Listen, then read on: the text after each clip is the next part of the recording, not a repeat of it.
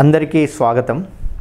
Today టెలివిజన్కి శ్రోతలందరికీ స్వాగతం. ఈరోజు మనం బిజిటె బిజినెస్ ట్రెండ్ ప్రోగ్రాంలో మార్కెటింగ్ విధానాలు ట్వంటీ ట్వంటీ వన్లో మనం ఏ విధమైన ప్రిపేర్డ్నెస్తో ముందుకు వెళ్ళాలి అనేది మాట్లాడుకున్నాము. నేను దివాకర్ సింగ్ నేను గ్లోబల్ సేల్స్ కన్సల్టెంట్ని. ఒక ఇరవై సంవత్సరాల సేల్స్ అండ్ మార్కెటింగ్ అనుభవం ఉంది నాకు.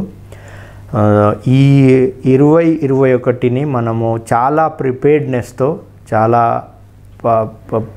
వెల్ వెల్ ఇన్ అడ్వాన్స్ అన్ని ఇన్ఫర్మేషన్తో ముందుకు వెళ్తే మనము ఈ ట్వంటీ ట్వంటీ వన్లో సక్సెస్ కాగలము. అందరికీ నమస్కారం.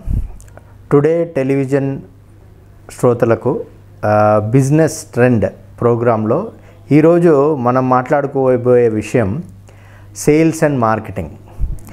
ఈ ట్వంటీ ట్వంటీ నుంచి ట్వంటీ ట్వంటీ వన్కి మనము ట్రాన్స్ఫార్మ్ అయ్యే టైంలో ఎలాంటి జాగ్రత్తలు తీసుకోవాలి? సేల్స్ అండ్ మార్కెటింగ్స్లో తెలుసుకోవాల్సిన విషయాలు ఏంటివి? వ్యాపారంలో వచ్చిన మార్పులు ఏంటివి? ప్రపంచ ప్రపంచవ్యాప్తంగా జరిగిన మార్పుల వల్ల మనకున్న చిన్న బిజినెస్కి కూడా ఏ విధమైనటువంటి ఇంపాక్ట్ జరిగింది అనేది మనం మాట్లాడుకుందాము.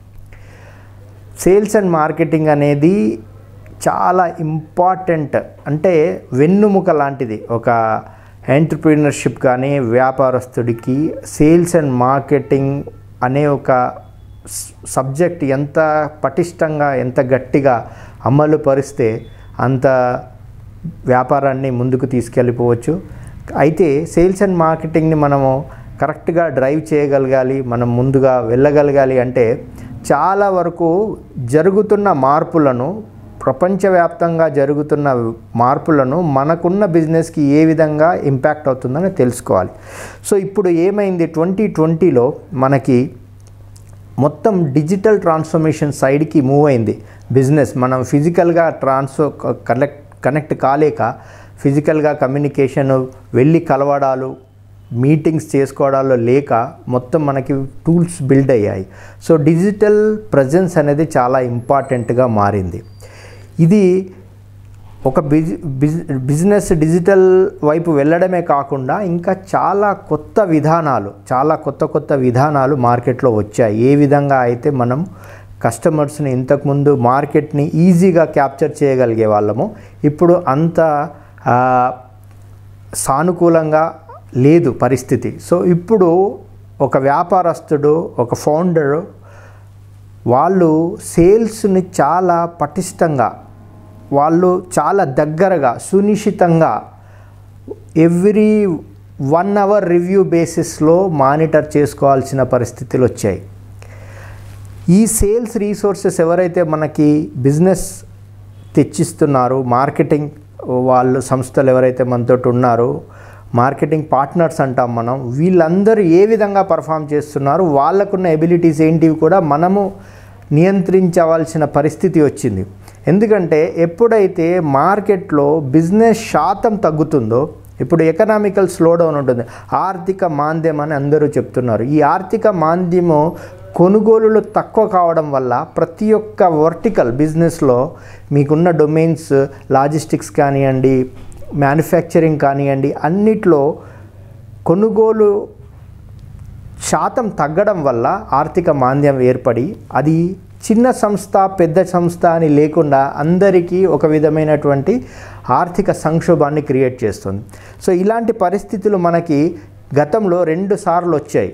మనము అంటే నేను చూసిన twenty years of marketing and sales ఎక్స్పీరియన్స్లో ఒకసారి మనకి ఈ డాట్ కామ్ బూమ్ అయ్యి చాలా వరకు మార్కెట్ పెరిగింది. అది ఎర్లీ టూ థౌజండ్ టైంలో అప్పుడు సడన్గా డాట్ కామ్ బస్ట్ అయింది. ఇన్వెస్ట్మెంట్స్ ఆగిపోవడం వల్ల కొనుగోలు ఈ ఐటీ రంగం వైపు చాలా తగ్గి వేరే వేరే సంస్థలకు కూడా ఐటీలో జరిగే మార్పుల వల్ల వేరే ఆయా రంగాల్లో కూడా బిజినెస్ తగ్గడం మారి జరిగింది.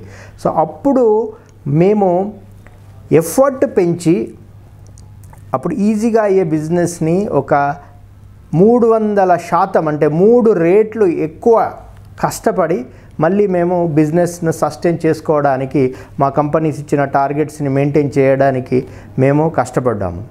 అదే ఇంకొకసారి మనకి టూ థౌజండ్ నైన్లో లెహమాన్ బ్రదర్స్ అని ఒక ఆర్థిక సంస్థ పెద్దగా కొలాప్స్ కావడం వల్ల అమెరికాలో మళ్ళీ మనకు ఒక ఆర్థిక సంక్షోభం వచ్చింది.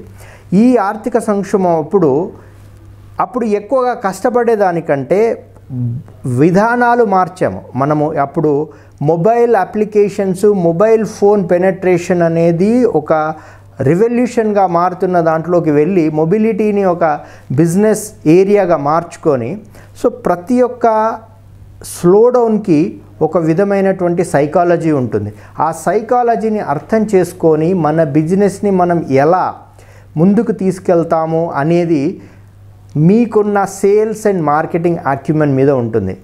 ఇప్పుడు ఈ సేల్స్ అండ్ మార్కెటింగ్లో ఉన్నటువంటి కొత్త విధానాలు ఏదైతే మీరు ఆన్లైన్లో వెళ్ళి మీరు తొందరగా మీ యొక్క ప్రకటనని చేసుకోవడం కానివ్వండి మీరు మీ ప్రోడక్ట్ని ప్రమోట్ చేసుకోవడం కానీ దీంట్లో చాలా కొత్త విధానాలు వచ్చాయి.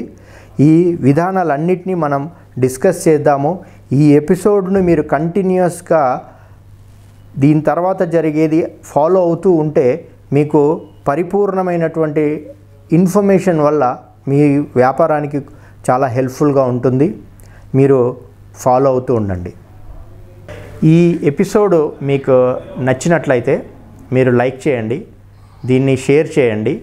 మీ లైక్ షేర్ ద్వారా మేము ఇంకా చాలా ఇన్ఫర్మేషన్ని మీకు ఇవ్వడానికి ఉత్సాహంగా ముందుకు రావచ్చు. చాలా కాంటెంట్ మీకు దొరుకుతుంది.